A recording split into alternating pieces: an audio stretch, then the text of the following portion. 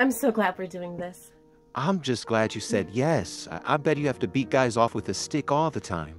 Wait, does he mean because I'm so pretty? I think that's supposed to be a joke. Laugh! no, that's too much. Pretend to cough. now drink some water.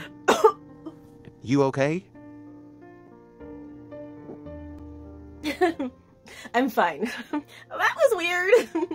Talk normal for crying out loud. I'm sorry, I guess I'm just really nervous. Hey, it's okay to be nervous. Do I say something now? Is it my turn? Smile at him. Too big. Relax your eyes. Now you look crazy again.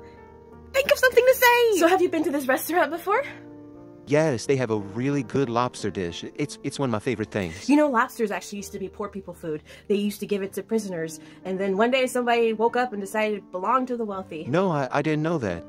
Okay, History Channel. Talk about yourself or get him to talk. So what did you want to be when you were a kid and at that age and, and wanting to grow up? What was your dream? Stupid question, stupid question, stupid question! Oh, um... Actually, I wanted to be an astronaut. He paused. He's waiting for a response. Space? Y yeah, s space. I I found it fascinating. Oh, O M G. What is happening? I'm a weirdo. Um, what did you want to do?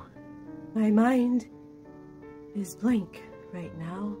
Uh, okay. Um, how about we just order? Yeah. Uh, let's do that.